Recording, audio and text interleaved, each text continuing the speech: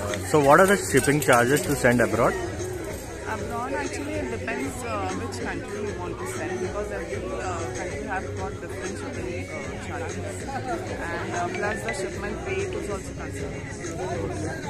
And uh, if I want to club my personal products with your products while sending a parcel abroad, so is it possible? Yes, yes, absolutely, it is possible. Uh, we, in fact, we go and uh, do the pickup also personally if you want us to pick up from your residence. Wow, that's that's also. really nice, really nice. And uh, the best part is that we don't charge anything for it.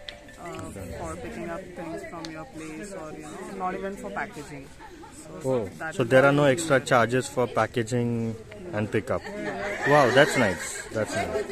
Uh, one last question: If I don't receive my parcel due to some issues with courier company, then do I get refund? Because I had this issue in the past.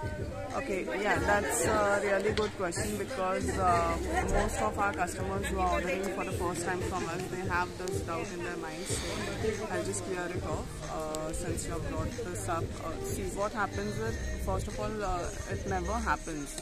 And uh, even if the rarest of the scenarios, it happens also, then uh, we give a full replacement which is absolutely free of cost wherein you don't have to pay anything your complete order would be refunded to you uh, uh, sorry like you know a replacement would be sent otherwise if you don't want the order then we give you a full refund whatever amount you have paid to us we refund Okay. it. Oh, thank you so much. Thank you so much. yeah well Yeah. Okay. I'll just go through your products. okay